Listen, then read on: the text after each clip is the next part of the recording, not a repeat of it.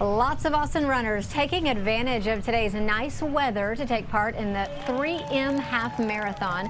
The race is popular in part because it's mostly downhill, starting in the Gateway Shopping Center and making its way downtown. Mark Pinales, who ran distance and cross country at the University of Texas, came in first, finishing an hour and six in an hour and six minutes. Quite impressive there. You know, the only complaint may have been the wind, but I can tell you, I was standing on 45th cheering on the runners, and it was um, to their back, so pushing them downhill down. and with a tailwind. Not too bad to be yeah. out there for a run today.